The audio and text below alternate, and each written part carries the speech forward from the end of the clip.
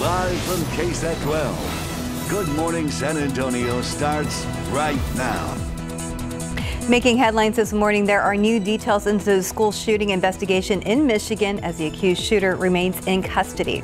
Outside with Live Cam, we hope you had a great weekend. Back to muggy, mild weather. Today is one of our cold front days. We'll get details from Mike Osterhage who is back this week. Good morning, everybody. It is Monday, December 6th. Happy Monday. Hope you had a great weekend. It was definitely humid at times. So, Steph ran in the Rock and Roll Marathon mm -hmm. yesterday? Sunday. Mm -hmm. Sunday, yesterday, yes. Yeah. How'd it go?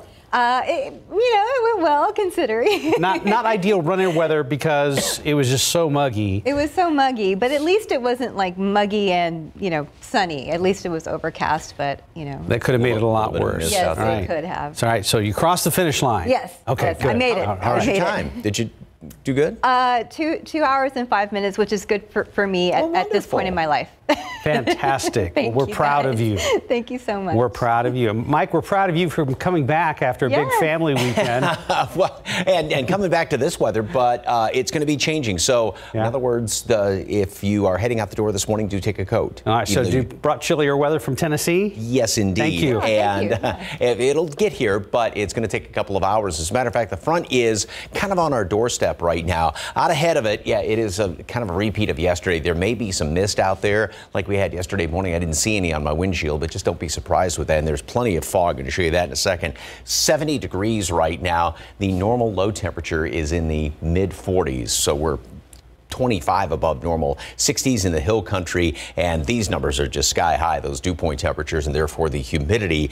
Uh, visibility, Castroville is just a quarter mile. Same thing over there in Hondo, a lot more fog further on out to the west, and there is a dense fog advisory that was just issued about uh, 45 minutes to an hour ago for portions of the hill country up until 7 o'clock. So when that front moves through, obviously that's going to scour all that fog on out of here. There's really nothing showing up on radar. There may be a couple of showers here, and especially as the front moves through. And see that little line right there. That's the front up there, just moving through San Angelo. So that's going to continue to work its way down here. And arrival time here in town is going to be about 9 o'clock this morning, obviously sooner in portions of the hill country. Mold is on the moderate side. And throughout the rest of today, again, getting ready to head out the door, even though you don't need it right now, grab a jacket. 70 this morning. This is going to be our high temperature for the day. A couple of showers out there, and then the front moves through. It's going to get very windy. Temperatures will drop steadily throughout the day. 55 later on this afternoon, and it's going to be a blustery 55 and then it's going to go right back to hot temperatures by the end of the week. We're going to be flirting with record high temperatures by the end of the week, believe it or not. Details coming up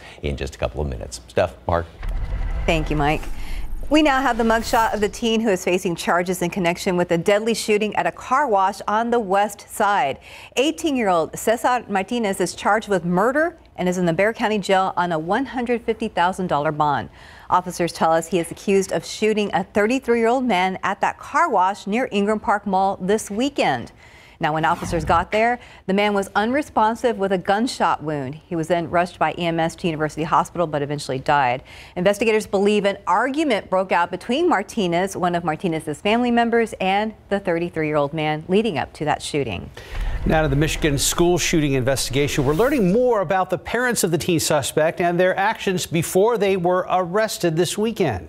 Meanwhile, seven more teenagers have been arrested in connection with other school threats in the area. Here's ABC's Ike Ejiochi.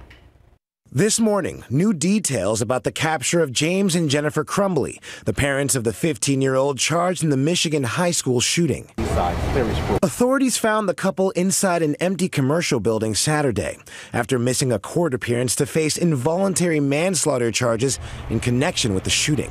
The man who owns that building says he has a friendly relationship with the Crumbleys and he invited them to stay at his art studio to avoid death threats and hostility that was surrounding their home. According to the man's attorney, he was not aware that authorities were looking for the Crumbleys. Authorities say the couple withdrew $4,000 from an ATM before the manhunt ended, but their lawyer insists the couple was not fleeing. Our clients were absolutely going to turn themselves in It was just a matter of logistics. Investigators say James Crumbley purchased a gun on Black Friday, days before their son allegedly used it to kill four students at Oxford High School. One student remains hospitalized.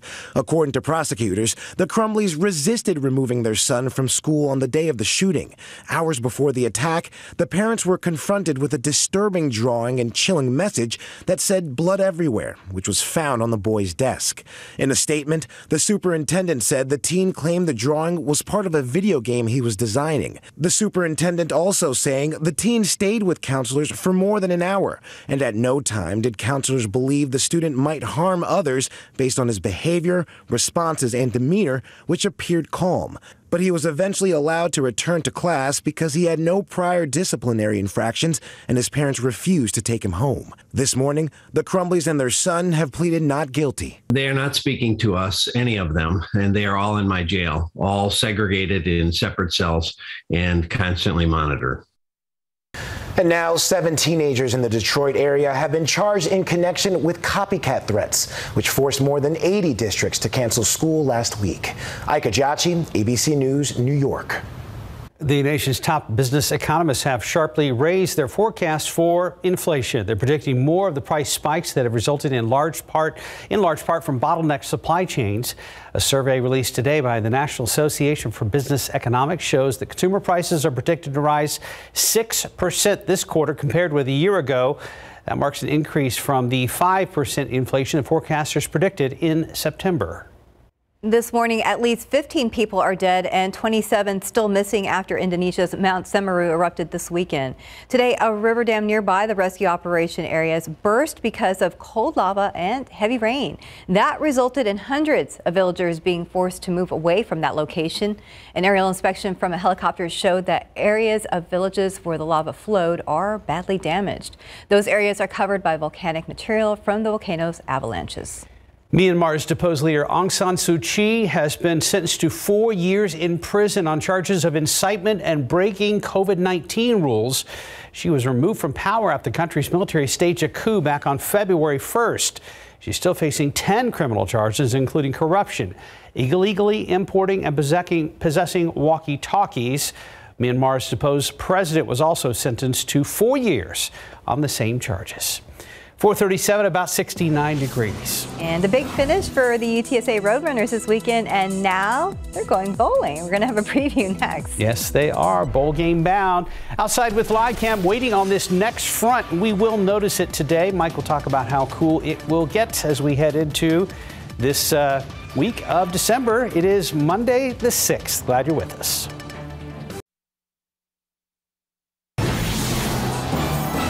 The UTSA Roadrunners are going bowling for the third time in their young football history and for the second season in a row where they face San Diego State, in the Tropical Smoothie Cafe Frisco Bowl on December 21st at 6.30 p.m. In a season of first, the Conference USA champions will try and win their first bowl game after two previous appearances. Just last year, they lost to Louisiana in the First Responders Bowl 31-24. Then in 2016, they fell to New Mexico 23-20 in the New Mexico Bowl. Now, after defeating Western Kentucky in front of over 41,000 fans at the Alamodome Friday night, UTSA will try to cap off their best season in program history with a December to remember.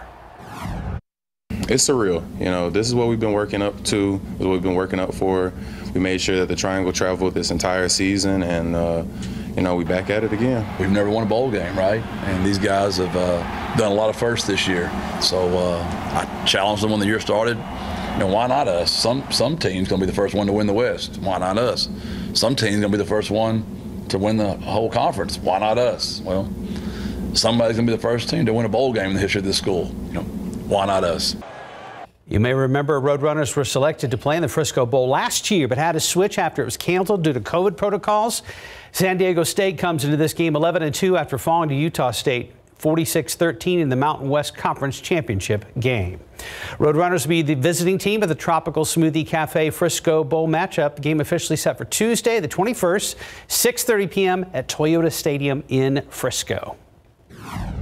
Very exciting to announce that number 14, Oregon Ducks, and number 16, the Oklahoma Sooners, will be our teams. That's right. Oklahoma returns to Alamo City for the first time since 2007 when the Sooners upset number one Missouri to win the Big 12 football championship. It's also the first time the Valero Alamo Bowl has featured two 10-win teams. The Ducks are 1 and 1 in their previous two appearances at the Alamo Bowl.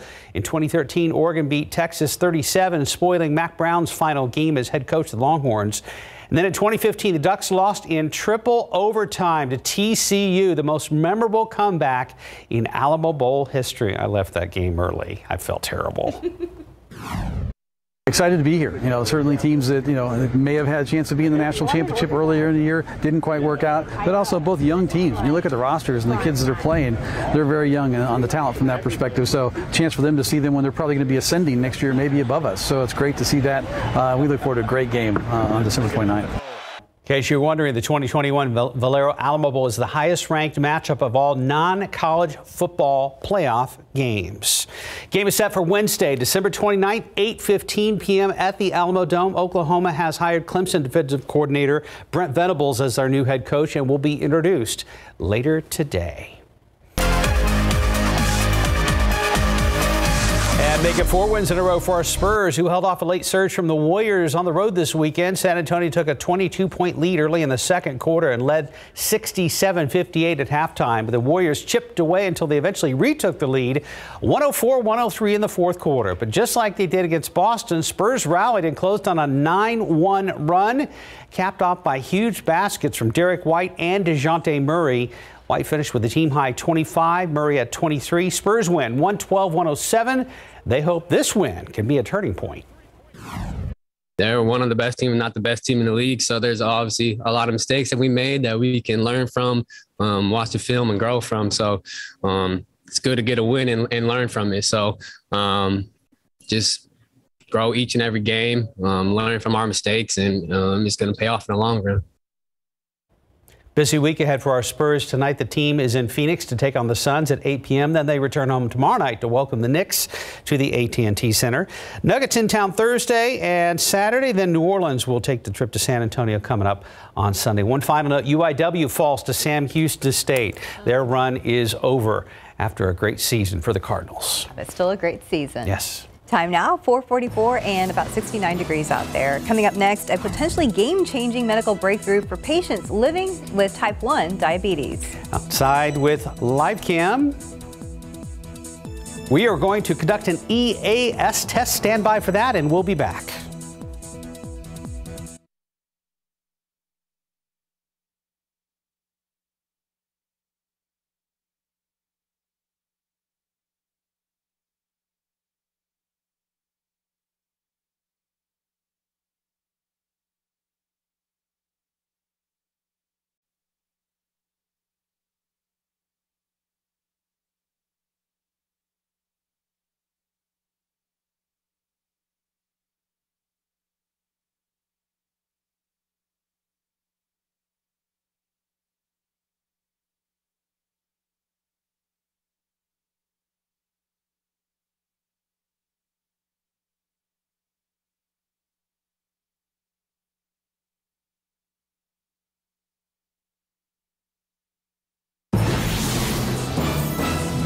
In this morning's GMA First Look, a potentially game changing medical breakthrough. Have you cured type 1 diabetes? The data that we have seen in the early stage of this clinical trial with Brian's results are nothing short of remarkable. 64 year old Brian Shelton has lived with type 1 diabetes for nearly 50 years, 15 years with dangerous episodes of hypoglycemia. You spend your entire life, every minute of the day, trying to keep track of where your numbers are at. Did I eat? Did I not eat? But now Brian's life has changed after becoming the first participant in a groundbreaking new clinical trial. How do you feel right now? Coming up at 7 a.m., we're going to tell you Brian's dramatic story and introduce you to the scientists who say they have the key that may cure type 1 diabetes. With your GMA First Look, I'm Will Reeve, ABC News, New York.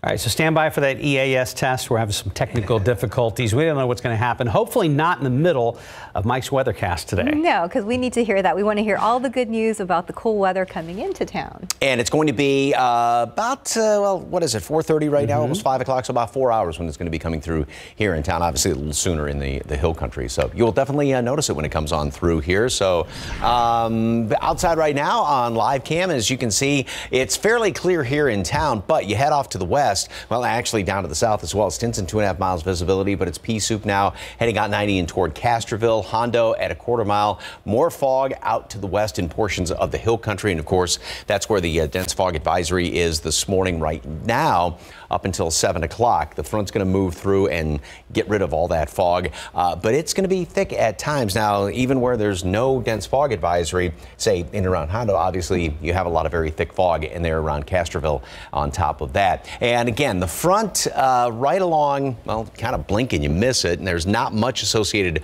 with that front as far as any rain, and that's going to be the situation this morning. We'll have a couple of showers out there as it moves on through.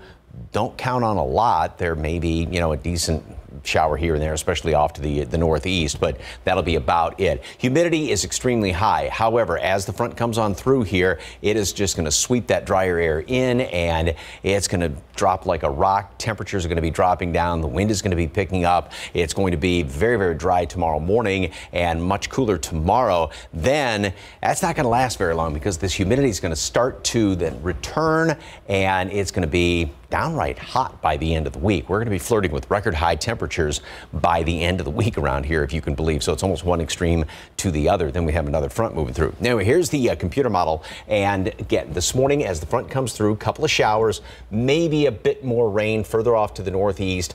Uh, a sprinkly shower or two. That'll be about it. Then the front comes in here. It's going to get rid of all the fog. It's going to be windy. It's going to be much cooler. Again, grab a jacket this morning, even though you don't need it right now because you will by later on this afternoon because with temperatures mid 50s and then, of course, very, very windy conditions. There could be a sprinkle or two overnight. Uh, kind of doubt it, but also cloud cover overnight is going to keep us from getting as cold as what we could get. It will act like a little bit of a blanket on top of us. All right, so we're in the 70s right now, 63 at noon, very windy, most cloudy skies. Then we continue down from there there to mid 50s by late in the afternoon. Still windy conditions. The winds are going to ease up then somewhat overnight. Tomorrow we get down to 45 degrees, 65 in the afternoon. Good looking day, nice kind of late fall day. Then the heat gets turned back up. Add 10 to that on Wednesday. Add another oh, almost 10 by Friday. The record both Thursday and Friday is 85 degrees. Oh, man. yeah. That's so close to record territory. Then another front. And so Saturday is going to be another upside down day. Very, very warm early in the morning, and then we'll drop to about 60 in the afternoon. I would ask what Mother Nature's thinking, but I'm not real sure anybody knows at this point. I think she's yeah. just trying to keep us on our toes. Uh, no doubt about that. Yeah. yeah. But again, grab a coat. What's today? Yes. Mm-hmm. Okay. Thank you. Thank you, Mike. 452, about 69 degrees. And coming up next, a look at how Disney's Encanto did at the box office this weekend, plus a first look at Spider Man across the Spider Verse. Another good weekend at the box office for Disney and Ghostbusters, plus a look at the latest Spider Man animated film. For the latest on what's happening in Hollywood, here's ABC's Christopher Watson is my chance. I will save the magic. Disney's Encanto topped the box office for a second weekend, earning another $12.7 million. That's a better than 50% drop off from last weekend's debut, but not out of place for the typically slow weekend after Thanksgiving box office. We must protect our home. We must protect our family. It's also enough to push Encanto's global take to over 116 million. Have you missed this? It was a pretty good weekend for Ghostbusters Afterlife as well. It held on to second place and just crossed the $100 million mark domestically in three weeks of release.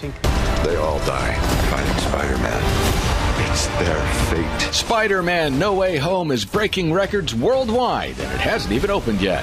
International ticket pre-sales in some countries are beating Avengers Endgame. Hello, Peter. It's already topped pandemic pre-sale records domestically. Spider-Man No Way Home opens December 17th. And REM guitarist Peter Buck is 65 Monday. And that's what's happening in Hollywood. I'm Christopher Watson, ABC News.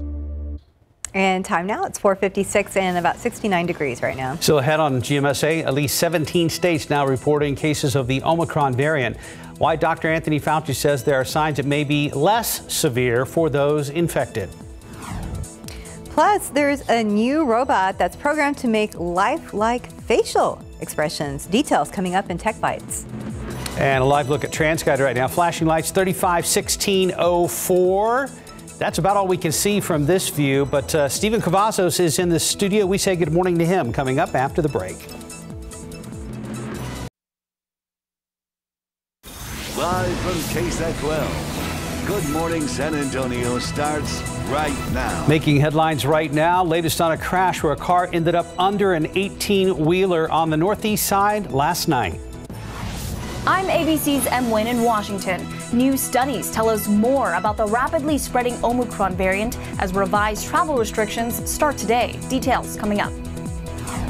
And taking a look outside with live cam this morning, you're starting your day. You might be heading out thinking, I don't need a jacket. Well, maybe not right now this minute, but you may want to pack one later on. You'll thank us later. You can send yes. us a little note or anything you want. Good morning, everybody. It's Monday the 6th.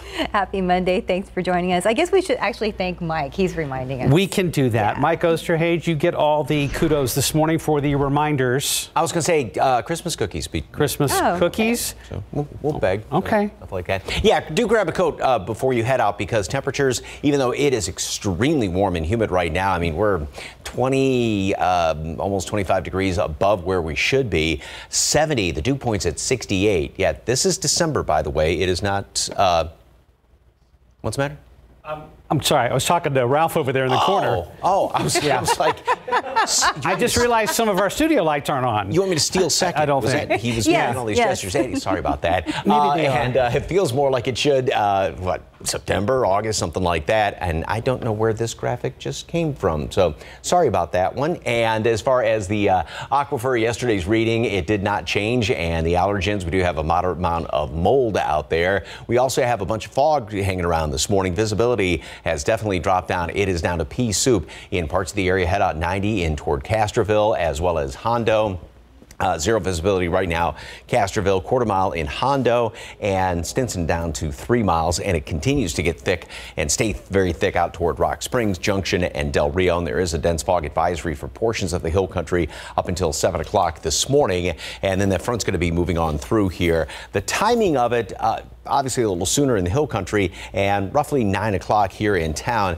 You see that little right there like I said, you kind of blink and you miss it, and a few more showers off to the uh, kind of the right hand side of that front. That's the front working its way down through here. And just by looking at that radar picture, rain is not going to be a big issue with this. There's going to be a couple of showers that get popped up or get squeezed out, if you will, maybe a few more up around Austin. That'll be about it. But very warm and humid this morning. Front comes through here. Temperature is going to be dropping down throughout the day. It's going to be very, very blustery. Winds out of the north to northeast about 15, 25 miles per hour, gusting on top of that. So, yes, pack a coat before you head out the door this morning. And then cold start tomorrow morning. It's going to be heating up the rest of the week. Near record high temperatures on Friday. We'll be in the neighborhood Thursday, and then it's going to be back to December by the weekend as far as temperatures are concerned. Details coming up in just a couple of minutes. Getting ready to hit the roads on this Monday. Traffic Authority, Stephen Cavazos, morning, sir. How's your weekend? Hey, great, Mike. A little too short for me, but you know what? Happy to be here with you guys. And if you're still at home,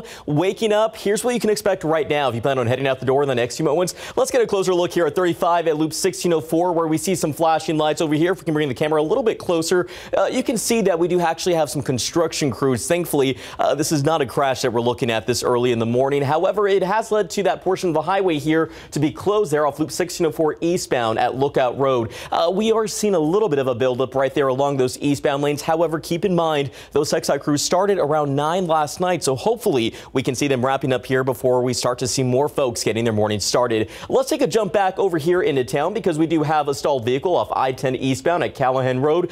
Not causing any issues, thankfully, but of course, make sure that you give those drivers plenty of room when you see them stranded along the highway, especially when it's still dark outside. Another jump, uh, so the wider look that is, uh, that we do have a few stalled vehicles out, but at this hour, the main issue is going to be the construction spots, and we're going to have more time to talk about that a little bit later, but the big one there is going to be right there on 1604, uh, right at Lookout Road. Let's go ahead and take you to those inbound times because we're not seeing any delays at this hour. If you plan on traveling, traveling to San Antonio from any of our neighboring communities. Right now, if you're coming in from Boerne on I-10, just 25 minutes to the downtown San Antonio area, so not too bad there. 27 minutes from Bulverde and 281 and just 26 minutes on 35 coming in from New Braunfels. Let's take one last look at TransGuide. We're going to get to more construction spots for this Monday morning. We'll have that coming up in the next few minutes. Mark, Stephanie.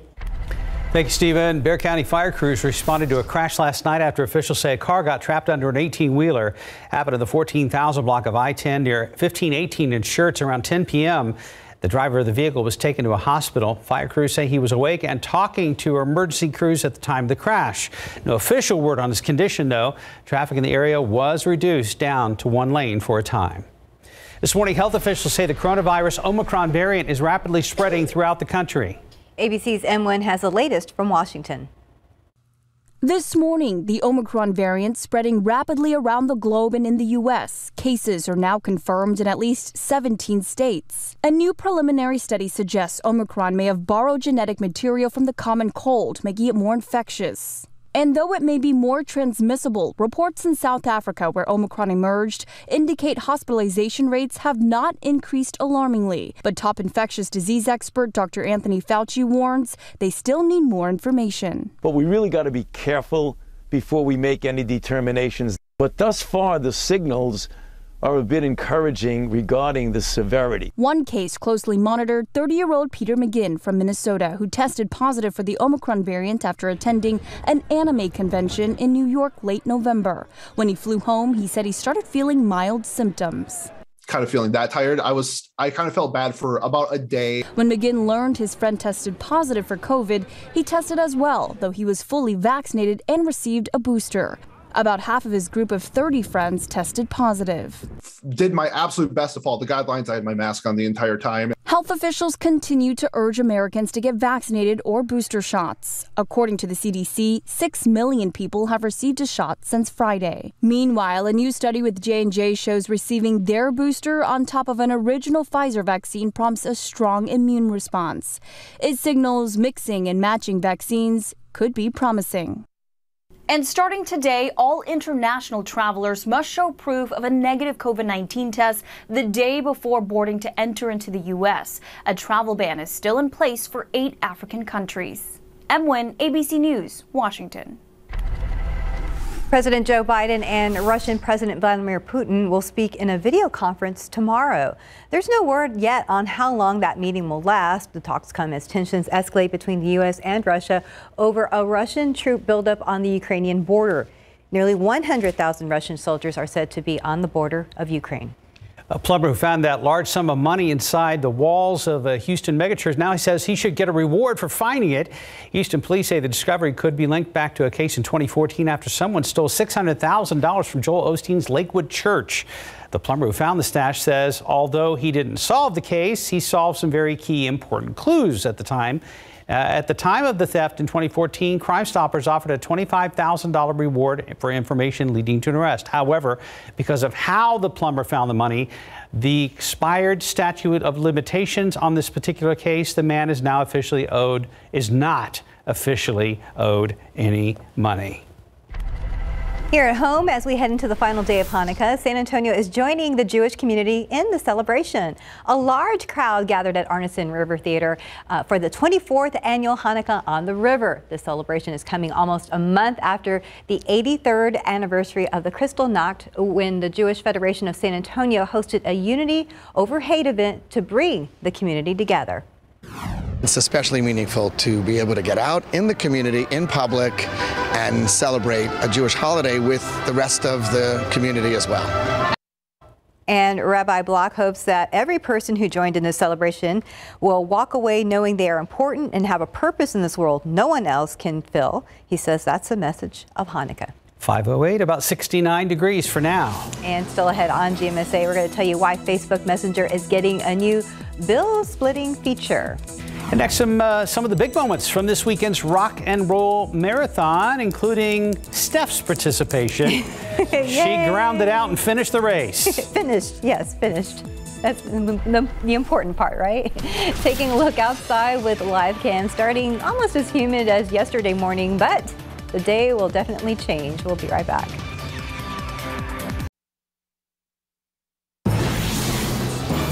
More than 18,000 runners hopefully recovering, right, Steph, after taking on the annual Rock and Roll Marathon this weekend. The event shut down parts of downtown, and this year's theme was Fiesta in December. So the race returned in person this year after it was canceled last year because of the pandemic. Organizers are calling it a success, citing the big turnout. And though it's nice to get to the finish line first, for some participants, the race was just about finding joy from personal growth and I have never run an event like this before. You know what I mean? I couldn't even go around the block in 2015. So now, six years later, we've gotten better, have overcome the heart attack, so did 14 half marathons. And as for the full marathon winners for the men's competition, this was San Antonio native Colin Mars, and for women, it was Heidi Gall from North Carolina. And Steph finished the race yes. in what would you say? Your time was two uh, two hours and five minutes. Oh my gosh, which is good for Still, for me. And you said the weather was grueling it, for runners. It was super. It was super humid out there. But the medals this year yeah, are pretty cool. It was pretty cool. It's like kind of like what they were talking about Fiesta, you know, in December, and right. that's you know pretty cool. This is a. I, I like how they always kind of like personalize it to mm. you know San Antonio, but this is the half one. There's uh, the full's got a different medal. Sure. Yeah. Does that have bite marks on it from finishing the race? Uh, no. No. Okay. All right. I was just so happy to to, to walk out finish. of there. Yeah. I, I, I, didn't even think about like doing any cool poses or anything. You're just like too it's too busy panting, right? Yes, pretty yes, much. Understood. Pretty much. Well, proud of you for finishing. Thank 513, you, about 69 degrees. And still ahead, why Spotify is removing a popular comedian's content. And we'll check out this humanoid robot that makes eerily lifelike facial expressions. Whoa. Will Smith was right.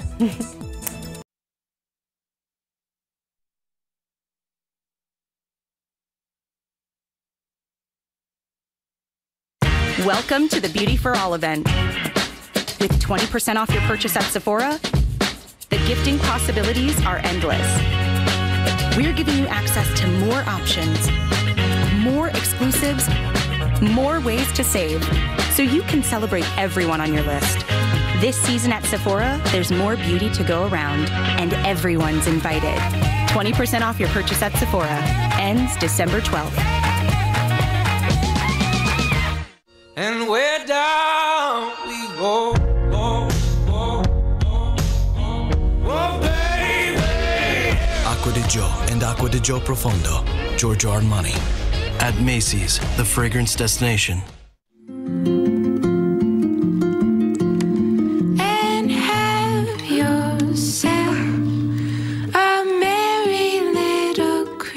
Pandora Jewelry and receive a free sterling silver bangle as our special gift to you.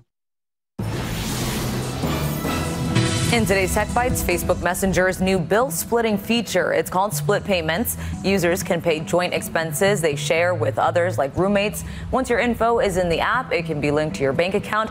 Tests on the system begin in the U.S. this week. Spotify is not joking around about royalties. The service is pulling content from hundreds of popular comedians like Tiffany Haddish, Kevin Hart, and John Mulaney. The dispute comes as a growing number of comedians are seeking to get paid royalties when their jokes are played on streaming services services. And finally, a British company has unveiled a lifelike robot showing off some realistic and creepy facial expressions. The humanoid called Ameca wakes up to the surprise of her own existence. She looks confused, curious, amazed, and surprised. All the things I was when I saw that video. Those are your tech bites. Have a great day. That's fair. Yeah, that's Absolutely true. fair. Let's check out traffic. Yeah, the problems on I-35 and Loop 1604. Let's go ahead and check in with Stephen Cavazos. Yeah, we do have some construction out here, Mark and Steph. 35 at Loop 1604 is where we're looking at. Uh, you see some flashing lights out there this morning. We still have some crews working to improve the roadways. However, this obviously has led to a portion uh, to be closed off there. Let's go ahead and take you to the map and show you what we're looking at right now. Uh, that's right at 1604 eastbound at Lookout Road. You can see a little bit further down in the south of 1604, uh, we are seeing a small buildup there. Nothing too drastic, but this did start overnight. So hopefully we will see some uh, some of this resolving pretty soon. Uh, not the only thing we've spotted this morning. It's been kind of busy. Let's go ahead and take a jump down over here. 35 northbound at Rittiman. We do have a stalled vehicle there. As we take a jump over here, we still had a stall that looks like it may have just cleared from our map off I-10 eastbound at Callahan Road. A jump down over here to 410 does show we have some uh, paving operations. Now this has also led to a portion to be closed off, a single right lane closure on the southbound main lanes from Ray Ellison Boulevard, Boulevard that is to Old Pearsall Road.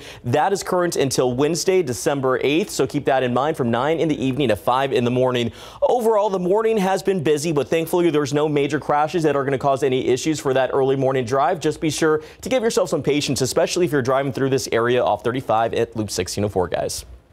Thank you, Stephen. You're welcome. Stephen, we're looking forward to the changes. Yeah, but look at that picture. This is uh, from uh, Southcam looking up to the north. And now, different situation than this view from uh, the camera over there by the airport. But there is some fog out there, and visibility has definitely dropped down in places. Kerrville's down to three quarters of a mile as of right now. Hints of fog around New Braunfels, Randolph, Port SA, Stinson. But then you head out west on 90, Castroville, Hondo. It is just pea soup and a good chunk of the hill country right now. Quarter mile visibility up in Rock Springs. Springs and just a half mile over there in Junction. And the dense fog advisory again for portions of the hill country up until 7 o'clock this morning. And even though obviously there's some counties like Medina County not under dense fog advisory. You've got some of the thickest fog out there. So uh, just be on the lookout for the next few hours. And again, we're watching a not very impressive front work its way on through here. Impressive as far as any rain. Got a couple of more showers uh, further up to the northeast, and that's all kind of sliding down to the southeast. But it's just kind of a broken line of rain out there, and that's what we're going to be expecting as this thing moves on through. Again, humidity is very, very high this morning. Dew points are way up there. It's like almost late summer kind of humidity this morning. And then by 8 o'clock, there's the front moving through the hill country with the dense fog advisory till 7. Once that front moves on through, that's just going to, once the humidity drops off the front, the uh, fog, pardon me, is going to really be just getting on out of here. And then by about 9 o'clock here in town is when the front moves on through. Winds will shift around, the humidity starts to drop off, and temperatures are going to be dropping off as well. So grab a coat before you head out the door because we'll only be in the about mid 50s by late afternoon, plus very windy conditions. And the dry air is going to be sticking around here, and that's going to allow for temperatures to really drop down by tomorrow morning. So there's the cold air, obviously 27 in, obviously, I was going to say that 27 is not going to be heading on in here, but we will get much cooler temperatures coming on in and we'll be in the mid 40s by tomorrow. But it's not going to last all that long. It'll be day, couple of days. That'll be about it. Humidity makes a big return by the end of the week, and that is going to be teamed up with temperatures that are going to be flirting with record highs by the end of the week. Yeah, we're going to go uh, almost a 40 degree temperature difference between the low tomorrow morning and then the high on Friday afternoon up to 85 degrees. There's all the clouds hanging around here right now. We're going to keep a lot of clouds around throughout the rest of today but temperatures, like I said, will definitely be dropping down. So we'll be down to 63 by noon. Again, we're in the 70s right now, upper 60s, 70s, but the front moves through and that knocks temperatures down. Very windy throughout the uh, rest of the day. And then by late afternoon, only 55 degrees, mostly cloudy skies. We're going to keep some clouds around tonight, so that's actually going to keep us from getting as cold as what we could get if we didn't have a blanket on top of us. And then we get up to 65 tomorrow. So good looking day tomorrow, a lot more sunshine. And then notice how the low temperature stays in the mid 50s by Wednesday morning up to 75, 82 Thursday, 84 on Friday. The record both Thursday and Friday is 85 degrees. Then the front's going to move through here late Friday, early Saturday. So another upside down day on Saturday. Good looking weekend coming up here, kind of fallish. Yeah. Once we get that next front moving on through here. But yeah, definitely, again, take a coat today for the little ones even though they won't want to wear it this morning. You don't need to wear it this morning, but Mm-hmm. Pack it in the bag. Yep. Have you guys noticed in the last couple days some of the leaves around here have really started to pop red and orange? A little bit, yeah. Yeah, it's kind of a nice little finishing touch there for fall. Yeah, the, la- the last wave of fall, I think. Yes, before we head into our brief Texas winter. Right now, 523, about 69 degrees. And still heading your morning spotlight. A first look at the tease trailer for Spider Man Across the Spider Verse. Teaser, plus Tom Holland gets ready to play Fred Astaire. Here are your lottery numbers this morning. Pick 3, 152, Fireball 6. Daily 4 numbers 1269, Fireball 4. Cash 5, 18, 20, 22, 27, 32. And Lotto Texas, 15, 17, 20, 27, 52, 53. Your Powerball number, Powerball number, sorry, 10, 40, 45, 56, 67, Powerball 2, Power Play 2. Good luck.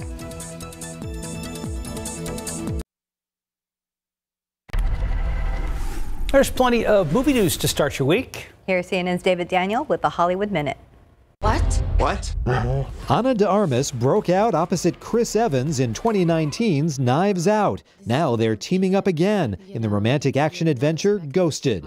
De Armas is replacing Scarlett Johansson, who was originally set to star in the project. Marvel has given us our first look at Spider Man Across the Spider Verse, the sequel to the Oscar winning Spider Man Into the Spider Verse. And since Marvel is billing this as part one, we can expect at least one more animated adventure after this film opens next October. It was my opportunity to try things. Speaking of Spidey, Tom Holland, the current live action Spider Man, is stepping into Fred Astaire's dancing shoes. Holland is set to play Astaire in a biopic about the legendary big screen dancer, actor, and singer. Holland got his start dancing on the London stage and went viral channeling both Gene Kelly's Singin' in the Rain routine and Rihanna's Umbrella on Lip Sync Battle. In Hollywood, I'm David Daniel.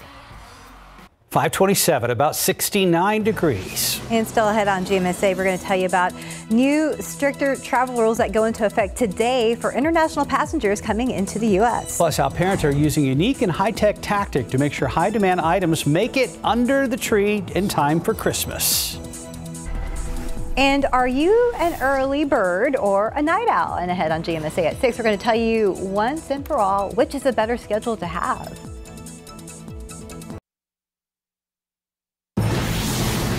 Making headlines this morning, new international travel restrictions go into effect today as the country is seeing more than 100,000 new COVID cases each day. A bar fight ends in death here on the south side. Good morning, I'm Katrina Weber. But the suspects in this case aren't even old enough to get inside. I'll tell you more about it.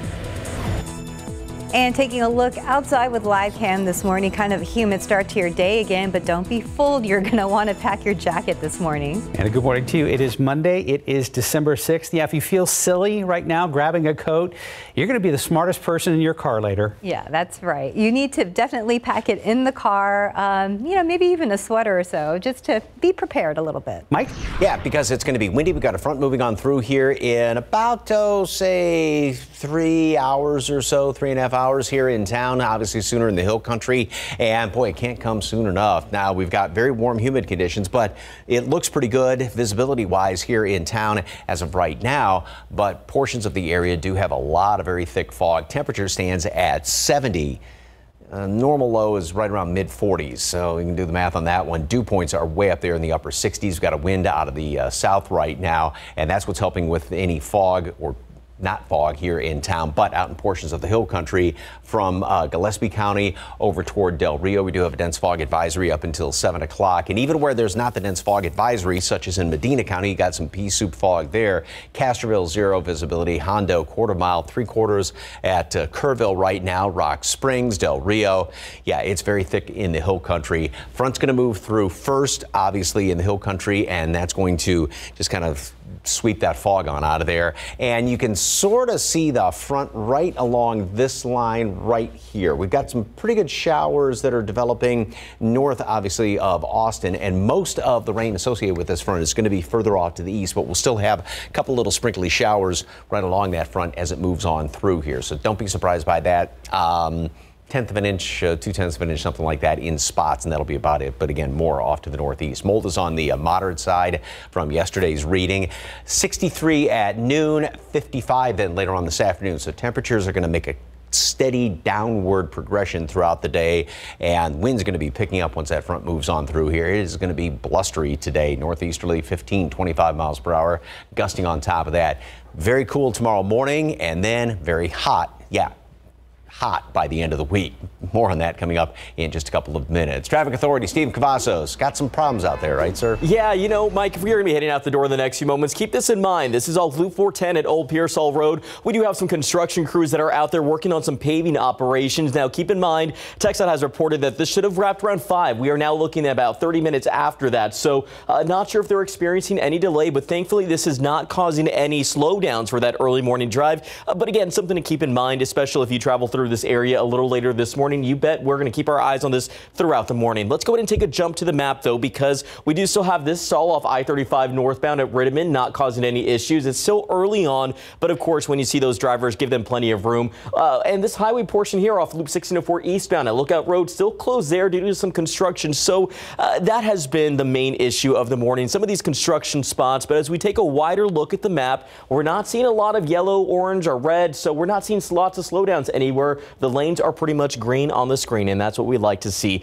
Let's go ahead and take you to those inbound times if you plan on heading into San Antonio from any of our neighboring communities. Right now, coming in from Seguin, pretty green, I-10 uh, with 28 minutes at this hour. It's not looking bad coming from La Vernia with 22 uh, on 87. And if you are traveling in from Floresville on uh, uh from 37, that is 28 minutes to the downtown San Antonio area. So again, uh, not a lot of problems out there, but just keep in mind we still have these construction crews working to wrap up this uh, paving operations. We'll continue to keep our eyes on this throughout the morning, guys.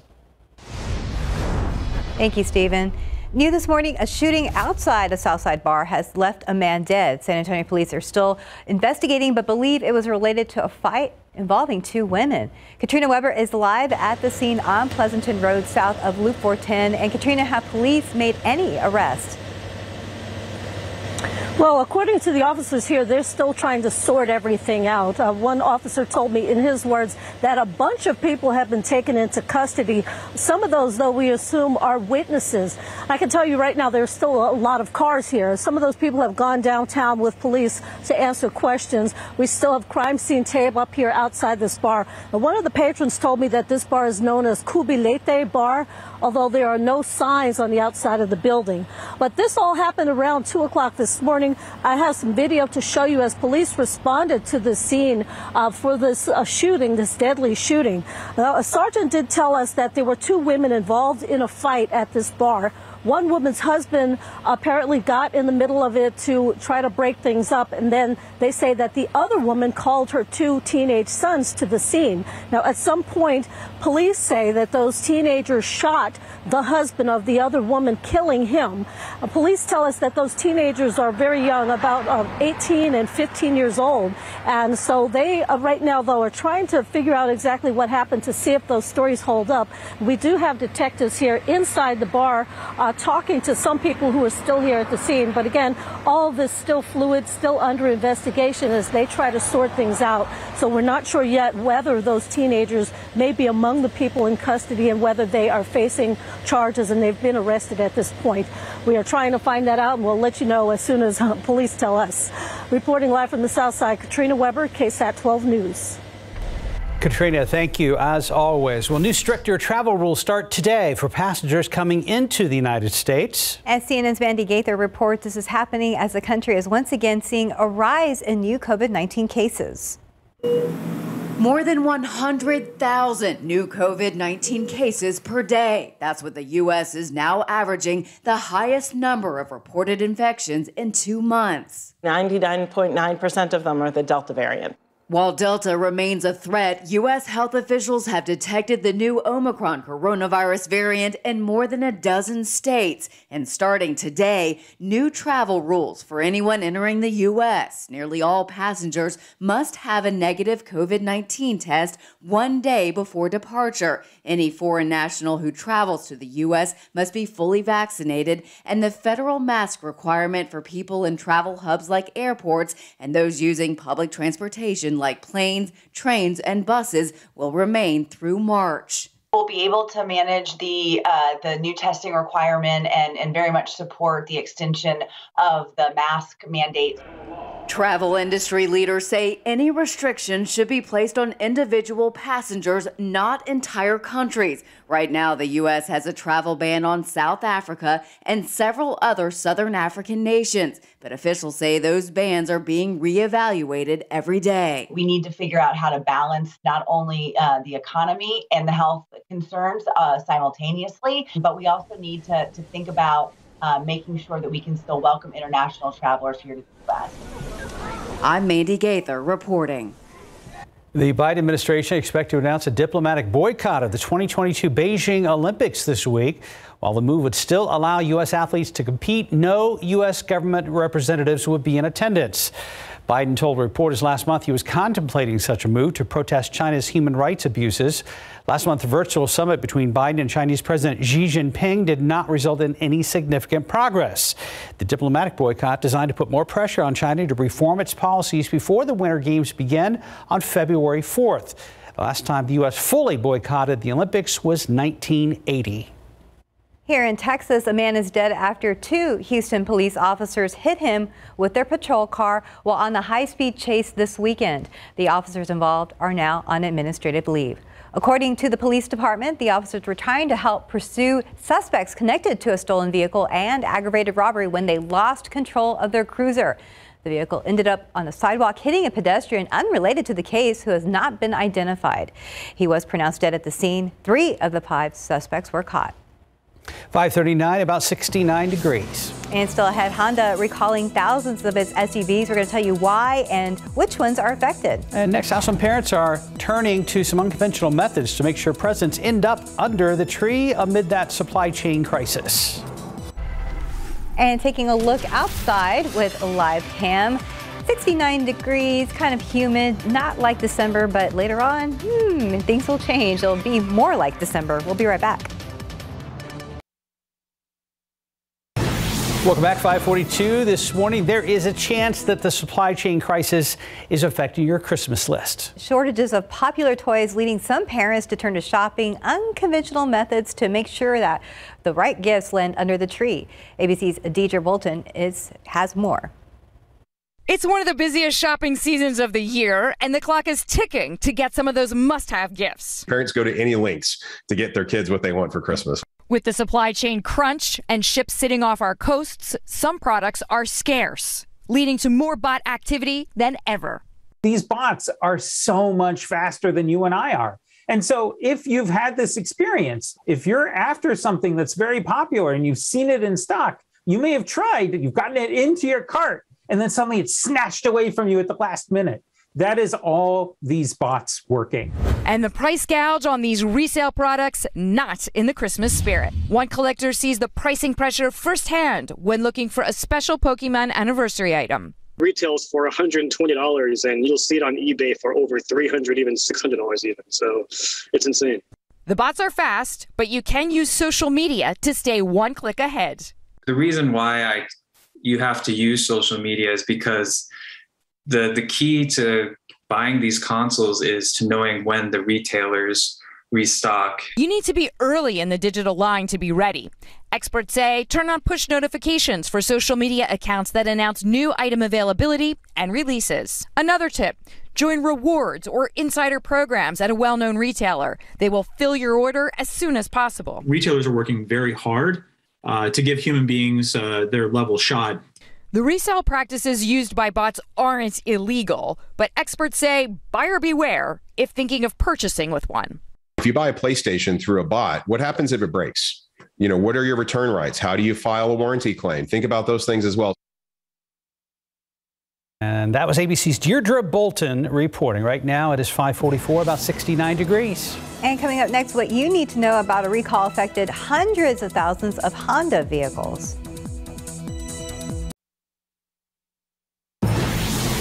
And welcome back. It's 547 in your morning consumer headlines. Cruise lines may be taking a price gamble thanks to the pandemic. With shorter turnaround times for ships to set sail, cruise companies are offering deep discounts for passengers. The Wall Street Journal reports that Carnival and Royal Caribbean are slashing ticket prices by up to 40%. Those discounts could continue for the first half of next year. Recent rallies in the stock market might have you thinking about making a move with your portfolio. However, experts say in order to avoid paying capital gains or taxes after selling stock, just might be prudent to rebalance your investments. USA Today says rebalancing to more conservative assets like bonds could also help some investors navigate a volatile market. Honda has issued a recall on about 725,000 SUVs. The car maker says there was an issue with the hood on 2019 Honda Passports, 2016 to 2019 Honda Pilots, and 2017 to 2020 Honda Ridgelines. Honda says there's a problem with the hood latch that could cause the hood to open while you're driving. No accident or injuries have been reported. Uh, owners of these cars, though, should receive a notice by mid-January. Honda says it will not charge for those repairs. Right now it's 548 on your Monday morning. Go ahead and check back with Stephen Cavazos, see how things are looking out there on the roadways. Hi, Stephen. Hi, good morning. Morning. Happy Monday. Same to you. Thank you. Feels good to be here. well, you know what? If you have to get your morning started early, uh, like the rest of us here on GMSA, let's look at what you can expect right now from these shots at TransGuide. 35 at Loop 1604. We had some flashing lights there due to some construction. I-10 at Presa. It does look like it's building up a little bit, and some of these shots does show that traffic is light in a lot of other areas. But let's take you to the map because there are some issues out there that we want you to be aware of before you get out on the roadways. Uh, a stalled vehicle still detected out here off I-35 northbound at Rittiman Road. Uh, according to TxDOT, that's detected as a high stalled vehicle, so it could possibly cause issues uh, when we have first responders out there working to assist that driver. But thankfully, as of right now at 549, we're not seeing any buildup of traffic in that area. Let's take a jump up here because I just heard from our friends at TransGuide that this highway closed off Loop 1604 eastbound at Lookout Road is due to some construction, but crews should be picking up uh, momentarily. So thankfully, that won't be causing any issues as the morning gets going. So let's take a jump over here because we have another stall off US 281 southbound at Thousand Oaks. A jump down over here does show we have the same issue off I-10 eastbound at Fredericksburg Road. So Right now, that does look like it could be the trending problem at this hour, just a bunch of stalled vehicles, but we're still keeping our eye on some of those construction spots as we just showed you. One last look around town, 281 at San Pedro, 1604 Potranco, pretty quiet there, but again, the morning is just getting started. Guys? Thank you, Stephen. Can't wait for things to change. Yeah, it's going to be changing in the next couple of hours. Again, been telling you all morning long, getting ready to head out the front door. Take a jacket with you, even though you do not need it right now. And this is the uh, south cam, and as you can see, you can barely see the skyline, just a couple of lights there, there on top of the Alamodome and some of the lights of downtown. But we do have a lot of uh, low clouds, a lot of fog around. At the airport, visibility is still pretty good, but then it gets thicker going south, Stinson, Pleasanton, and especially going out to the west. Head out 90, head out 10, you're going to run into a lot of fog. Rock Springs now down to zero visibility. Same thing with Castroville, Uvalde, two miles, one at uh, Del Rio, as well as Fredericksburg. And dense fog advisory up until 7 o'clock for portions of the hill country. And obviously, even south of this, outside of the advisory, we've got a lot of very, very thick fog, which will be sticking around for the next couple of hours. The, uh, the front is just about to move into the hill country. Got some pretty good showers and storms up here. If you're heading up 35, you may run into a few of those. And most of the heavier rain is going to be further off to the east and to the northeast, and we'll have just this kind of scattered, broken line right along that front. So temperature is at 70 right now. The normal low is 44.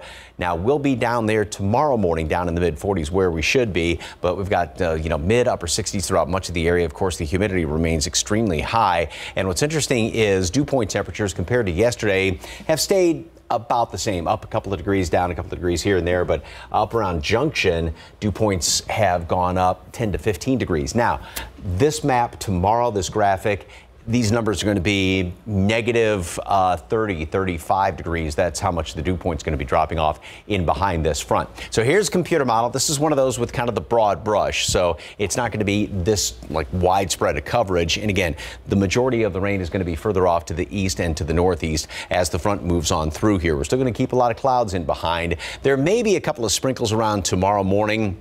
Then we're going to be clearing out in the afternoon. And Tomorrow's probably going to be one of the sunnier days. We'll have more sunshine later on in the week as well, but still a fair amount of clouds hanging around here. Friday, and what this map doesn't show is the fact that it's going to be just blazing hot on Friday for this time of year. We're going to be flirting with uh, record high temperatures on Friday, and then another front's going to move on through here. It may try and squeeze out a couple of light little sprinkles early on Saturday morning in the wee hours of the morning. That would be about it. So today, noon, 63 degrees. Grab a coat right now because then by this afternoon, we're only going to be in the mid 50s and maybe upper 40s in portions of the hill country. And it's also going to be very windy. So there's definitely going to be kind of a nip in the air, if you will. And then 45 tomorrow morning. So back down to normal. And in the afternoon, just about normal. Good looking day tomorrow. Then we warm right back up. 75 Wednesday, 84 on Friday.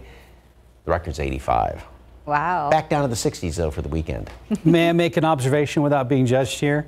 Mountain Cedar season is running behind, and I'm okay with that. That's okay. Yeah, I had to bring that up. I- it, I- it will be interesting to see, though, with this front moving on mm-hmm. through here, mm-hmm. if it kind of kicks things up a little, because it's going to be very windy, and then the next one Friday. Saturday. Traditionally, it's a front that gets us down in the 30s. It really gets that cedar going. So I don't know if we're there yet, but now I'm worried that things are going to be later into February for the season itself. Again, from a sufferer, I mean, I'm the poster boy for Mountain Cedar sufferers. Well, I'm we like. I'm like, hey, what did I do? Uh, 554, about 69 degrees. And let's look at your winning lotto numbers. We have pick three, 152, Fireball 6, and Daily 4, 1269, Fireball 4. Cash five numbers 18, 20, 22, 27, 32. Lotto Texas 15, 17, 20, 27, 52, 53. And Powerball 10, 40, 45, 56, 67. Powerball 2. Power Play also 2. Good luck. I'm going to read this just the way our producer wrote it. Where's the best place to see Christmas lights in Texas this year? Of course, it's the San Antonio Riverwalk. Duh. We all knew that. But San Antonio Riverwalk now is officially top Yelp's list of the top 20 places to see Christmas lights in Texas. Two other San Antonio spots made this year's Yelp list the Pearl Historic District and, of course, the Alamo. You can check out the full list on our website at ksat.com. Still hot on GMSA, our young San Antonio Spurs growing up fast. Silver and Black are red hot right now. We'll get you ready for all their upcoming games this week. They have a busy schedule. And an argument at a bar turns into a deadly shooting. The shooter still on the run as we speak. Trina Weber will join us live with the very latest. TransGuide right now, flashing lights 35 near Bampsey. We'll try to figure out what's going on out there right now. Stephen Cavazos will have an update coming up right here live on GMSA.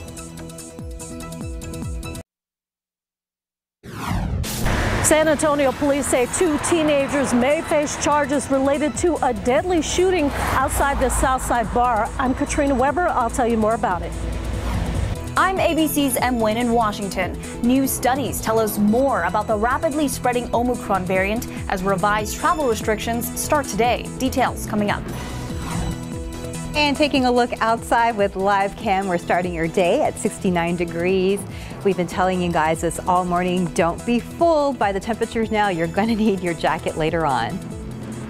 Live from KSAT 12. Good morning, San Antonio starts right now. Good morning to you. We hope you had a wonderful weekend. It is Monday, December 6th. Happy Monday. Thanks for joining us today. Uh, it's going to be kind of a roller coaster ride, I think, this week. That might be fair to say. If we listen to Mike's forecast this morning, we're going to sound brilliant to our friends uh, because we know what's going on. Big changes are coming. Yeah, uh, actually, in the next couple of hours, we're kind of tracking the front right now Uh-huh. as it's working its way in toward the hill country. And yeah, throughout the week, it's going to be cold, windy, and then it's going to be hot, and then it's going to be cooler again. So. Yeah. La- layers. It's called Welcome to uh, South Texas as far as weather. All right, here's our south cam, and yeah, you can barely make out the uh, the uh, land. What am I talking about? The uh, Uh, Skyline? Skyline, thank you. Wow. I'll take Skyline for 500. Okay, I've been off a couple of days. Uh, 69 right now here in town, mid 60s in portions of the hill country. And we do have a dense fog advisory for parts of the hill country up until 7 o'clock this morning. But then, even where this dense fog advisory is not in effect, there is just some pea soup out there. Uh, Castroville, Hondo, Uvalde now has a lot of very thick fog, also heading in toward uh, Kerrville, Stinson, hints of it, and it's dropped down somewhat at New Braunfels. We're now seeing specks of fog there, a little bit of reduced visibility out at the airport. But again, the majority of it is out in portions of the hill country as of right now.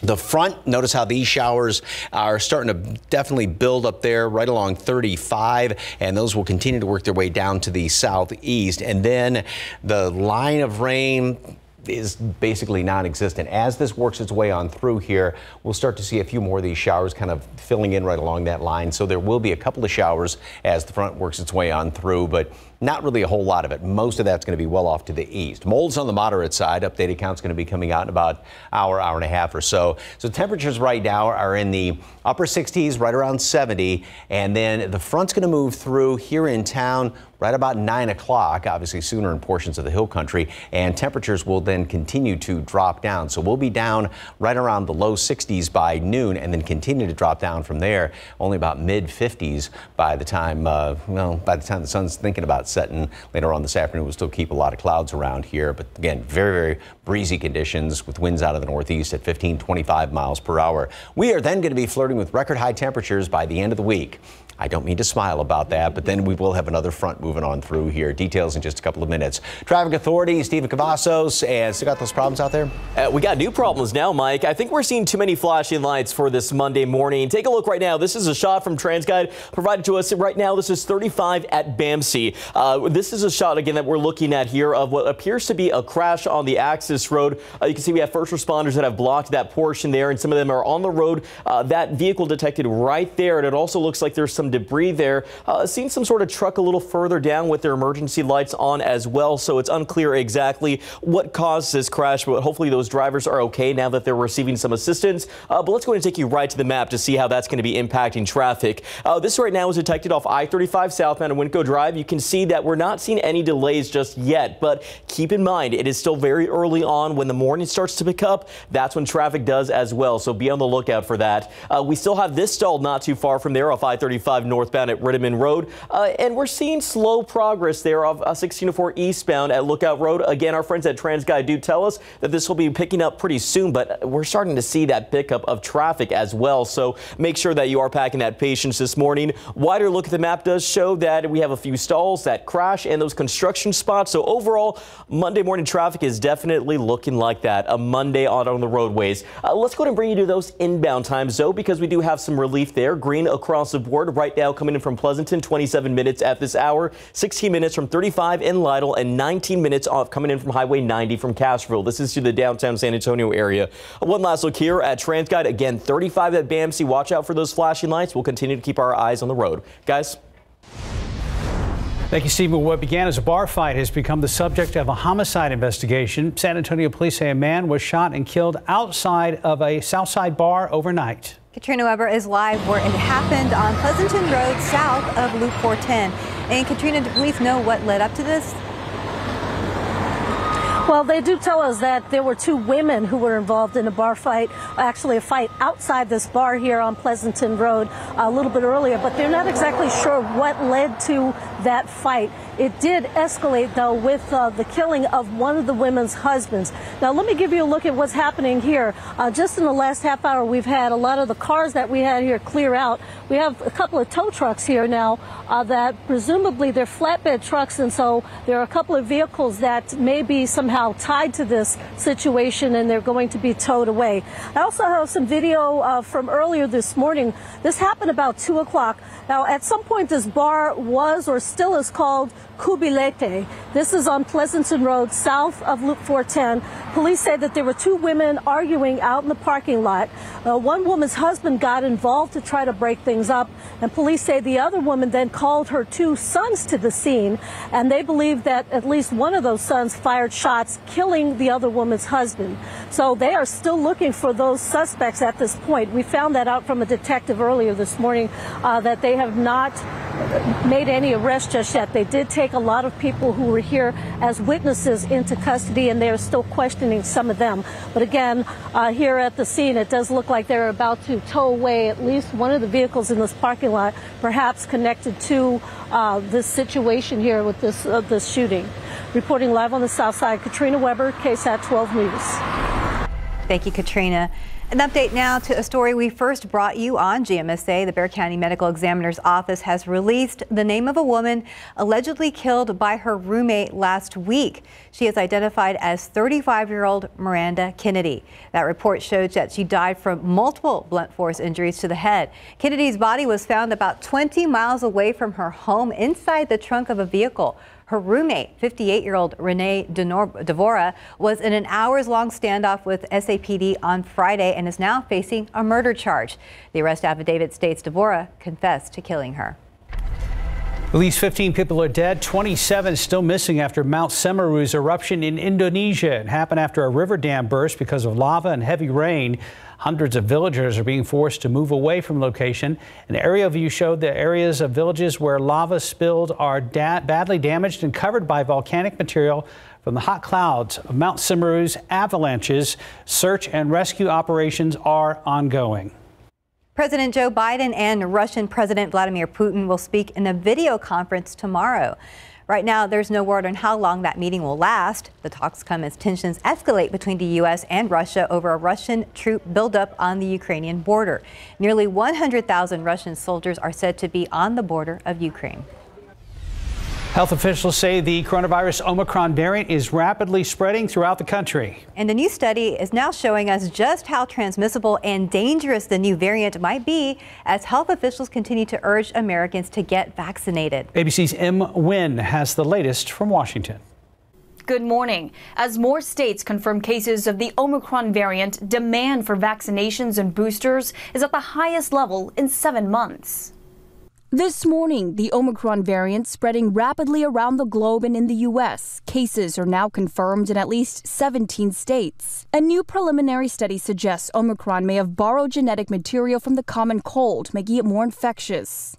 And though it may be more transmissible, reports in South Africa where Omicron emerged indicate hospitalization rates have not increased alarmingly. But top infectious disease expert Dr. Anthony Fauci warns they still need more information. But thus far, the signals are a bit encouraging regarding the severity. One case closely monitored 30 year old Peter McGinn from Minnesota, who tested positive for the Omicron variant after attending an anime convention in New York late November. When he flew home, he said he started feeling mild symptoms kind of feeling that tired. I was I kind of felt bad for about a day. Meanwhile, a new study with J&J shows receiving their booster on top of an original Pfizer vaccine prompts a strong immune response.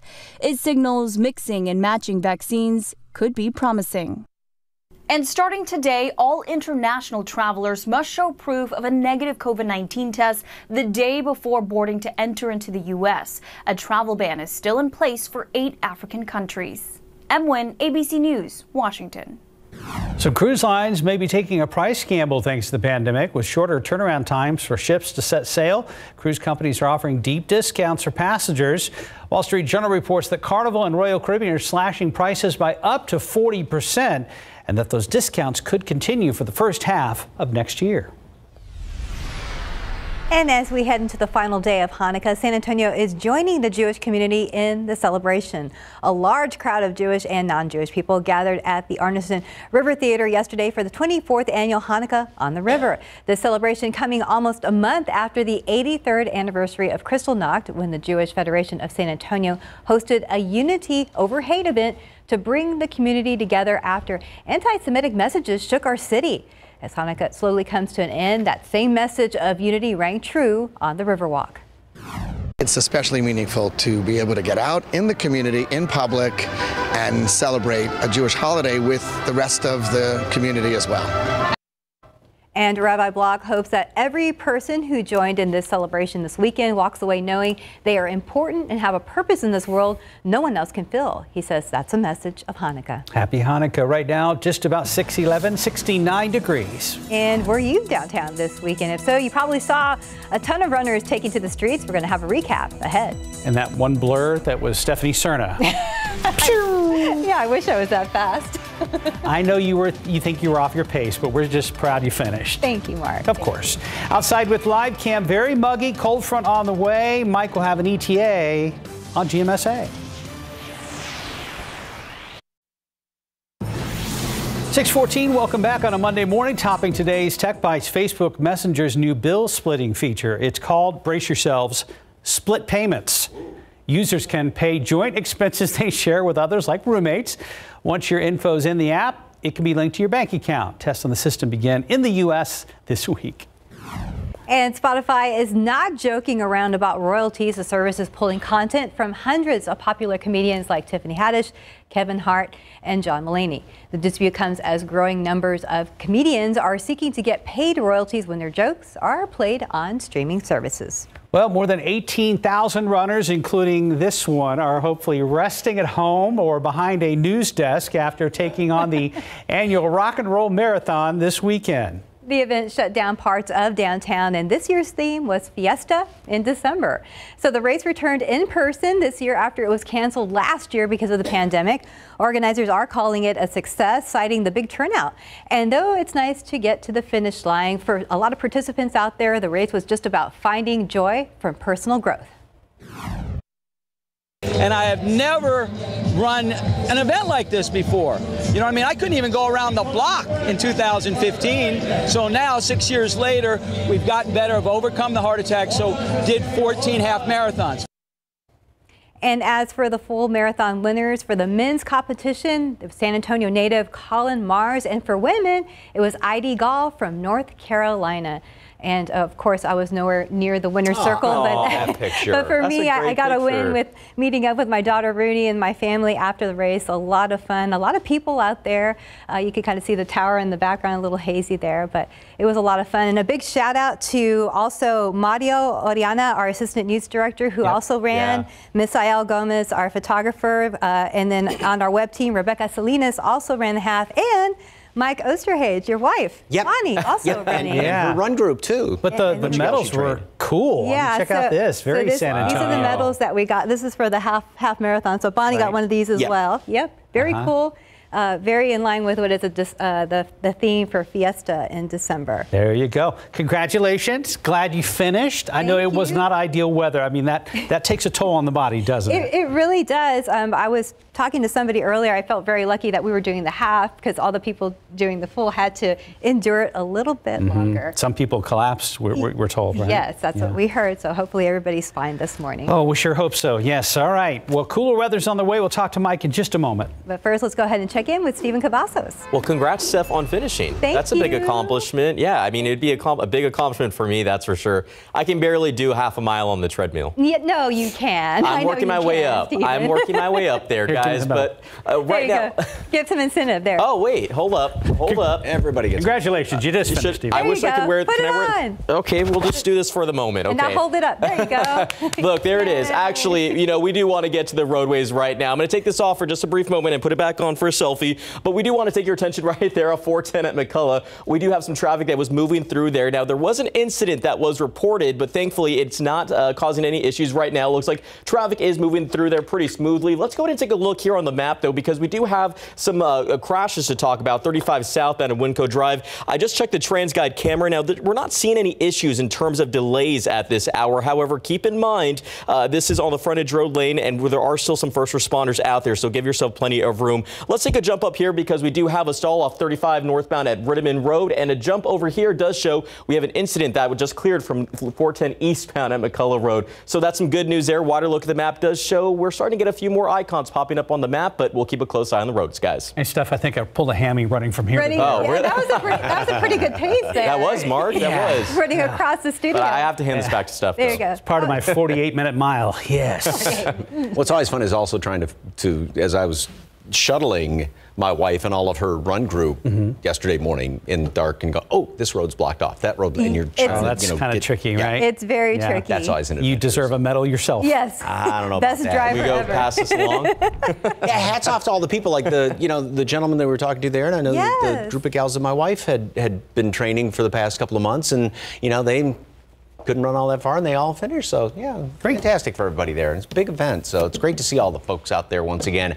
All right, this morning temperatures are very very warm. We're in the upper 60s, low 70s, and uh, fog is the biggest issue in places. Showers not so big of an issue. Don't be surprised if you see one or two of them out there. And then later on this afternoon, yeah, today's one of those upside down days as we call it, uh, 55, and that'll be it here in town by about four or five o'clock in the afternoon. Very very windy conditions as well.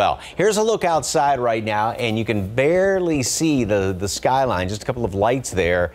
Off in the distance. And visibility has dropped a little bit now at the airport. New Braunfels still at 5, 8 at Port SA. And then you head over toward Castroville, and it's just running into a wall of fog out there. Pea Soup, Hondo, quarter mile, half mile, Kerrville, a lot of very thick fog out to the west. And now it's starting to show up there along the coastal plain as well. So we'll have to keep an eye on this for the next couple of hours. Now, the dense fog advisory for northern portions of the hill country is in effect up until 7 o'clock.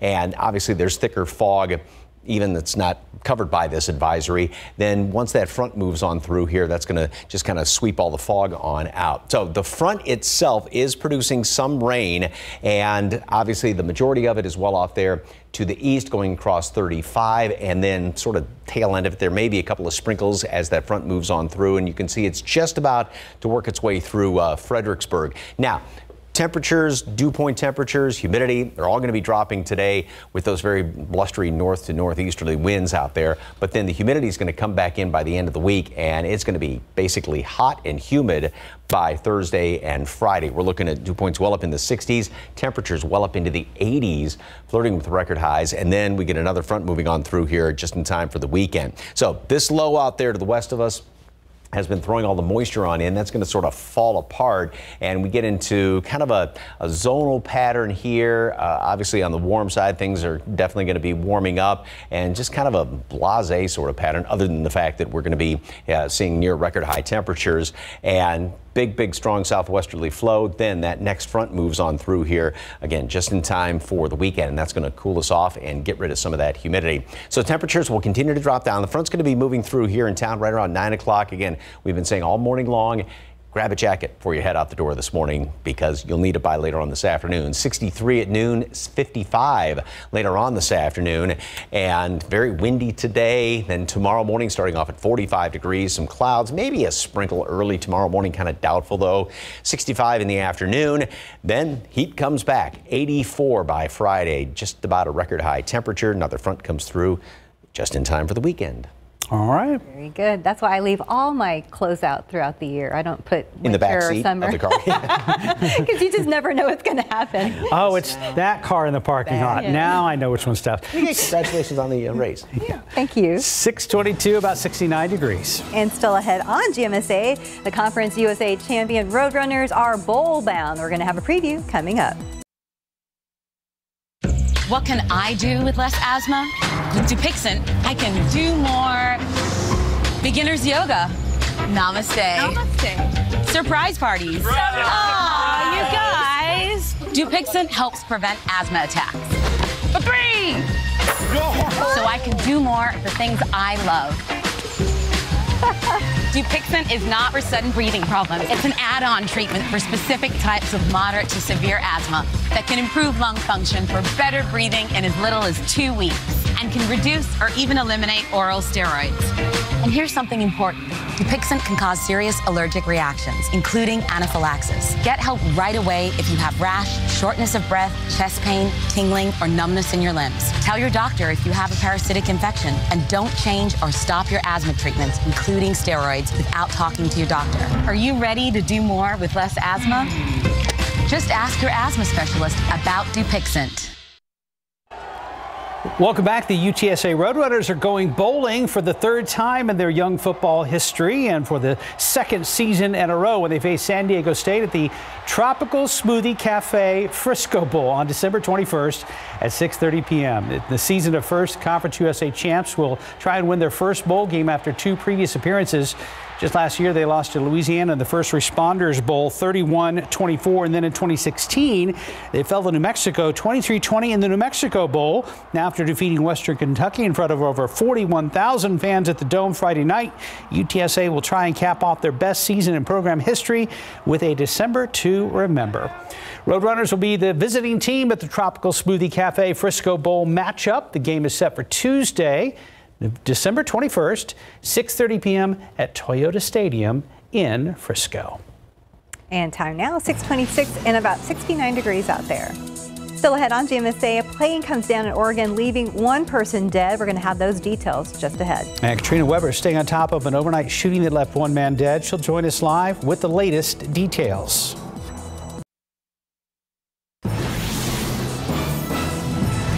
San Antonio police are searching for two suspects connected to a deadly shooting outside a bar. Good morning, I'm Katrina Weber. The people who they're looking for may not even be old enough to get inside. I'll tell you more about it. And terrifying moments for one man after his vehicle got stuck underneath an 18 wheeler. We're going to have those details. And right now, hovering around 70 degrees out at the airport. Fog has been a problem in a few spots. Big cold front on the way. We're about to cool down, so Mike has your fashion accessories for the day coming up. Good morning, everybody. it is Monday, December 6th.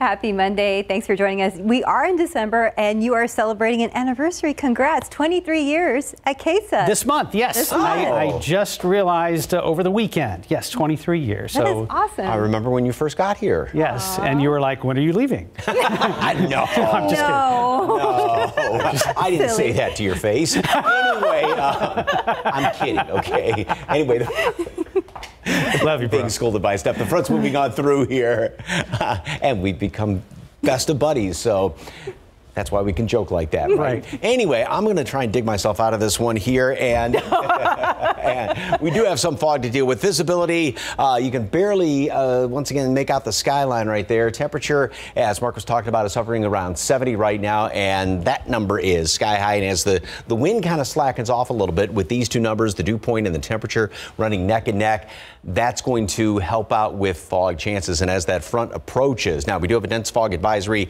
in northern portions of the hill country, but despite that, not covering everywhere, the thickest fog is right there around Medina County right now. Castroville, zero visibility. It's dropped a little bit out there at the airport.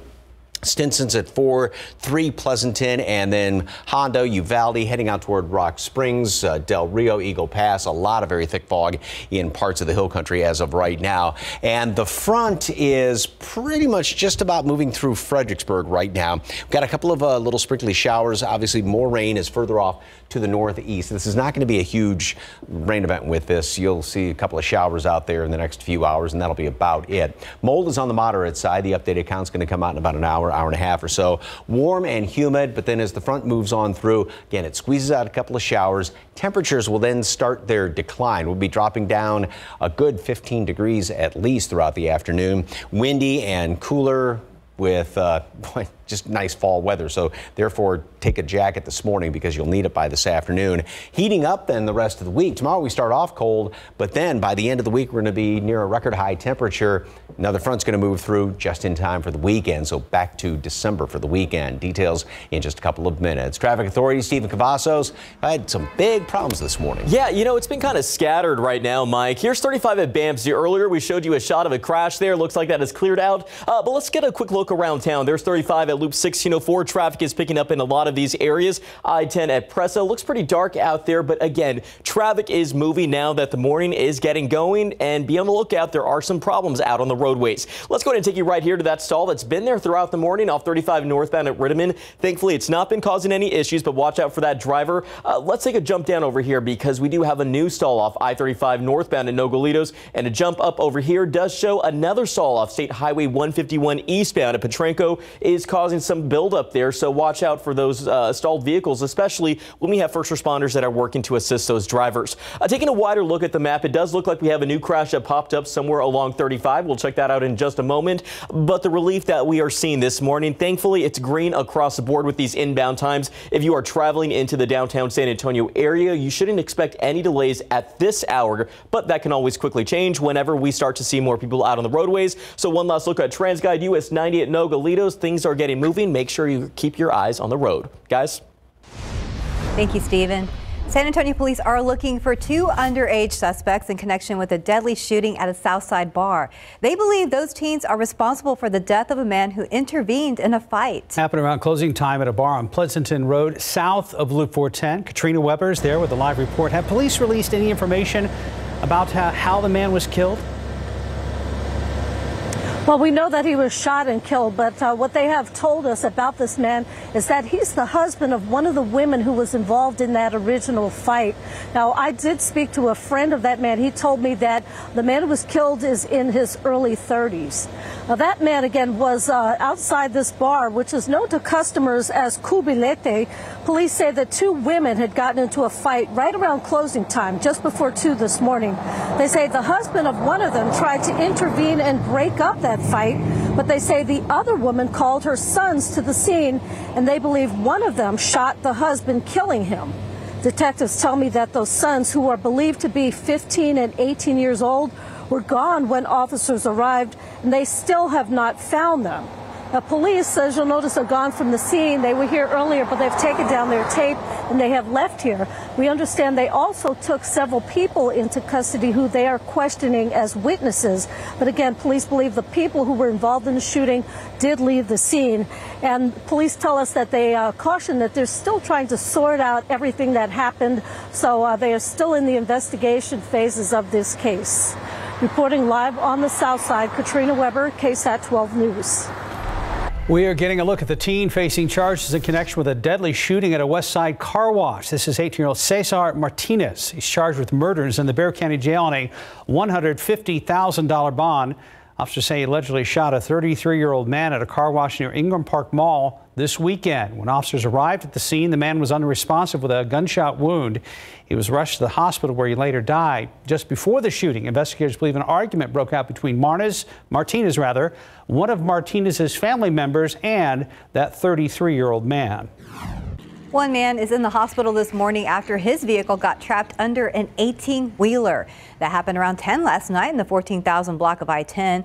Fire crews say the man was awake and able to speak when they got to the scene. There's not an official word on his condition.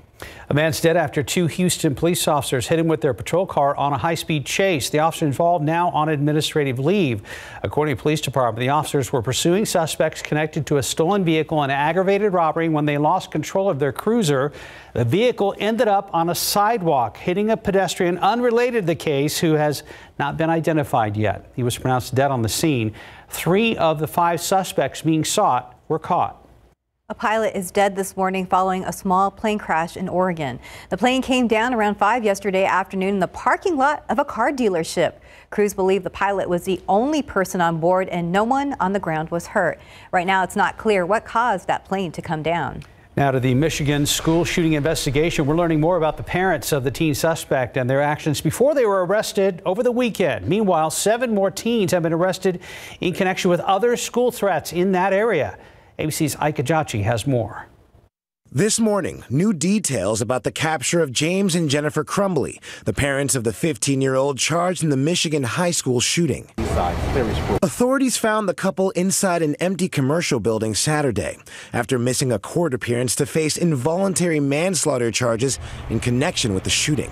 The man who owns that building says he has a friendly relationship with the Crumbleys and he invited them to stay at his art studio to avoid death threats and hostility that was surrounding their home. According to the man's attorney, he was not aware that authorities were looking for the Crumbleys. Authorities say the couple withdrew $4,000 from an ATM before the manhunt ended, but their lawyer insists the couple was not fleeing. Our clients were absolutely going to turn themselves in it was just a matter of logistics. Investigators say James Crumbley purchased a gun on Black Friday, days before their son allegedly used it to kill four students at Oxford High School. One student remains hospitalized.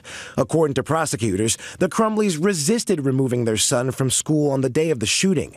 Hours before the attack, the parents were confronted with a disturbing drawing and chilling message that said blood everywhere, which was found on the boy's desk.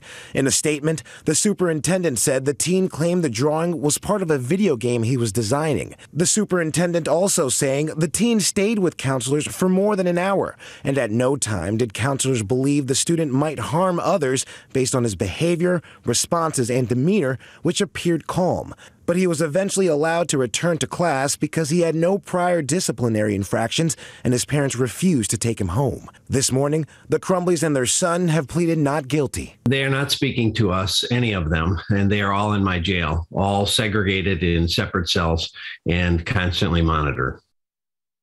And now, seven teenagers in the Detroit area have been charged in connection with copycat threats, which forced more than 80 districts to cancel school last week.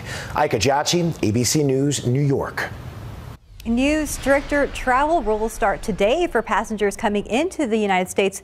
Nearly all travelers must have a negative COVID 19 test one day before departure. Any foreign national who travels to the U.S. must be fully vaccinated, and the federal mask requirement for people in travel hubs like airports and those using public transportation like planes, trains, and buses will remain through March. Some travel industry leaders say any restrictions should be placed on individual passengers and not entire countries. We need to figure out how to balance not only uh, the economy and the health concerns uh, simultaneously, but we also need to, to think about uh, making sure that we can still welcome international travelers here to the U.S. Right now, the U.S. has a travel ban on South Africa and several other southern African nations, but officials say those bans are being reevaluated every day. 640 right now. It is one of the largest breast cancer symposiums in the world, and it's right here in San Antonio. It's happening this Tuesday, and a local oncologist joined a leading SA this weekend to discuss the goals and accomplishments. The San Antonio Breast Cancer Symposium is where the latest approved treatments are first discussed with the best of the best researchers and physicians in their field. Dr. Virginia Kaklamani with UT Health San Antonio joined us to talk about the goals for the symposium and some of the amazing medical advancements. Take a listen. What we're focusing more on is what we call targeted therapies. And targeted therapies are where they target the cancer and not the whole body. We've relied on chemotherapy way too much, and chemotherapy kills every fast growing cell in the body, which is why women lose their hair. They have other side effects. But with the targeted therapies, those therapies are smart enough to just go to the cancer and therefore cause fewer symptoms and also work best. And the most, the newest ones are the ones that uh, focus on, on strengthening our immune system to kill the cancer cells.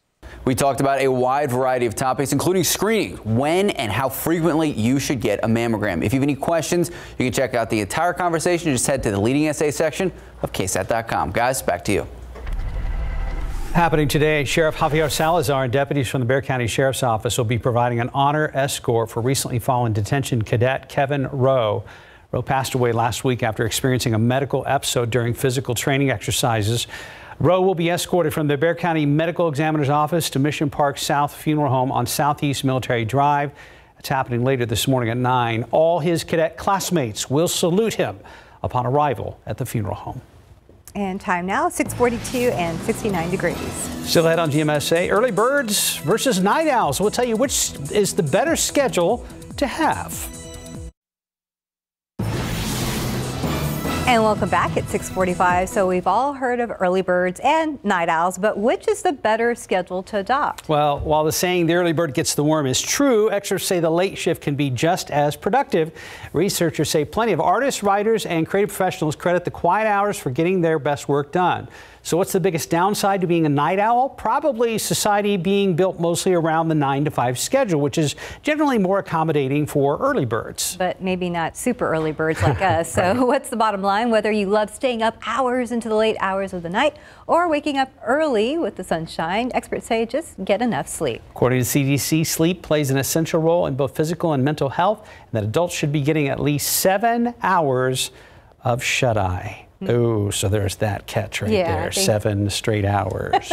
on the hmm. weekends, maybe, right? I wish sometimes. I oh, mean, oh, it's tough. On the weekends as well? It's tough. After you've been doing this schedule a while, you know, you just kind of. Your body. People are like, well, you eventually get used to it, right? No. you really don't. No. But we're in it together. Steph, yes. Steven, Mike, let's go to Steven with an update on traffic. Yeah, I woke up today at 1.30 uh, and I couldn't go back to sleep. So, so I got on up. the treadmill and only did half a mile but I was proud of myself. Nice. Awesome. Yeah, there's some reduction there. But let's go ahead and get a look at our roadways for these other early birds that are getting their morning started there. Loop 410 at Callahan. Uh, traffic is picking up in, in, some of these areas. Morning rush is already here. Uh, take a look at Loop 410 It's in Bethel, looking pretty busy out there uh, for 6 or a little bit after 645 this morning. So let's go ahead and take you to the map because some issues to be on the lookout for. Uh, earlier, we told you about a crash detected here off I-35. Uh, this is off the southbound lanes right at Judson Road. TransGuide has listed this as a stalled. So right now we're going to continue to report that as a stalled vehicle, not causing any issues, but be on the lookout for that if you're traveling into the San Antonio area. Jump down there. It still, still shows that we have a stall off I-35 northbound at Nogalitos and a jump over here. A stall still causing issues off State Highway 151 eastbound at Potranco. You can see that traffic building in those eastbound lanes. So watch out for that or pack your patience this morning. Wider look at the map does show that it is getting a little bit busier. We're starting to see some of those lanes building up with some congestion. So uh, make sure that you get out on time and take it easy out on the roadways. But what can you expect weather-wise? Mike has that answer. What's well, up, as we're getting into the, the heart of the morning commute, it seems that the fog is definitely getting thicker and it's definitely going to be an issue in some parts of the area. This is from our south cam. This is a Brooks City base looking toward the, the skyline there. There's the lights on top of the Alamodome. Other than that, I mean, it's really hard to see. And Stinson has definitely dropped off. It was about four miles visibility for a while now, just a mile and three quarters. Still plenty of thick fog out to the west and to the northwest and holding steady out at the airport Randolph. But this can change just uh, really at the, the drop of a hat. And then plenty of thick fog out there in portions of the hill country. Also, if you go down 37 toward Beeville, you're going to run into some of that fog. Dense fog advisory only for this portion of the hill country uh, for about the next uh, 10 minutes or so. Haven't seen any any indications, nor has the Weather Service indicated that it's going to issue or expand or extend this uh, this dense fog advisory. But just watch out for it, obviously. And as far as the front, it's continuing to work its way down to the southeast. It started up there. We were watching around San Angelo this morning, and as you can see, a couple of more showers are developing right there around Fredericksburg, more off to the east and to the northeast of there. Temperatures out ahead of that front are still in the 60s and 70s, uh, and the humidity remains, of course, extremely high. But notice around Junction now, the dew points drop down to 47 degrees. The wind has started to shift around 57 now at uh, Rock Springs, so the front will continue to move down in here. The winds are starting to shift around as well. Northerly 23 at Junction, 13 Fredericksburg, and it's going to be very breezy throughout the day. And then we get that cooler air continuing to move on in here. Again, the line of just a couple of scattered showers here and there along the front as it moves on through here. So that, along with some of the fog, may have some a uh, little bit of mist, some damp roads with some of that fog, but it's not going to be a huge issue, just enough in places to make the roads a little bit uh, on the, the slippery side this morning throughout the rest of the morning commute. But as the front moves on through, it will not really clear things out all that much. Clear out the fog, but we'll still have a lot of clouds, maybe a couple of uh, leftover sprinkly showers around tomorrow morning. Very cold tomorrow morning, and then it is right back to the heat. It is going to be just downright hot and humid by the end of the week. 63 at noon today, so very, very warm, but temperatures will drop down as the uh, colder air moves on in here. Windy conditions 55 later on this afternoon with mostly cloudy skies. And then over the next few days, again, we start off. Tomorrow's going to be almost a normal day. Mid 40s, mid 60s, right about average, a lot of sunshine. There comes the uh, warm temperature 75 Wednesday, 84 on Friday. The record is 85 both Thursday and Friday. We'll be flirting with it on Thursday and really, really close to it on Friday. But another front is going to cool us back down for the weekend. But the uh, advice for today is grab a jacket before you leave the door this morning. Before you leave the house, go out the door, I should say. Thank you, Mike. San Antonio Spurs get a big time win against a, a, uh, uh, Western Conference juggernaut over the weekend. Silver and Black taking on the Warriors on the road Saturday. Derrick White's 25 points and Dejounte Murray's 23 helped lift San Antonio over Golden State 112 to 107. Busy week for our Spurs. Tonight, the team is in Phoenix to take on the Suns. Tip off is at 8 p.m. Then they return home tomorrow to welcome the Knicks to the AT&T Center. Denver Nuggets are in town Thursday and Saturday. Then New Orleans will take uh, is will take the trip to San Antonio on Sunday. Go Spurs, go. Yes, go Spurs, go. Very exciting to see these wins. Time now 6:51 and about 69 degrees for now. How many times have you said tomorrow I'll go to the gym? Well, tomorrow on GMSA, we'll give some pro tips for beginners who are looking to draft a workout game plan. And taking a look outside with live cam, we are at 69 degrees right now. Uh, kind of humid, but like Mike said, a big warning. Uh, take your jacket to work if you're headed out the door right now. We'll be right back. Monday morning is here, and so is the traffic. Let's get a last look at TransGuide here, bringing you right to these shots here. US 90 in Nogalitos, things picking up. Uh, but right now, we do have a stall off I-35 southbound, where we're starting to see some delays in those southbound lanes. A jump over here does show we still have that stall off 35 northbound in Nogalitos. A jump over here also, a stall causing some problems off State Highway 151 eastbound at Nogalitos. Mike? Thank you very much, sir. Dense fog advisory remains in effect to parts of the hill country. I haven't seen any indication that this is going to be uh, extended past that, but we still have plenty of thick fog out there. Stinson, two and a half miles, zero, Castroville, uh, quarter mile visibility, Kerrville, as well as Hondo, and out to the west. And then it's going to eh, kind of flirting with it here in town. The front continuing to work its way through the hill country. You can see that broken line of rain right there, and temperatures are just going to be dropping down throughout the day. Mid 50s by later on this afternoon, and very, very blustery. Thank you, team. It's been a good Monday morning. Yes, it has. Don't forget that jacket, and we'll see you back here at 9. Good Morning America is next.